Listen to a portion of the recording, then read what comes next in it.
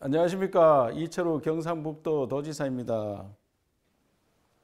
오늘 창업 경영 포럼에서 주는 대한민국 소비자 평가 우수 대상을 받게 되었습니다. 이성목 이사장님을 비롯한 관계자 여러분께 감사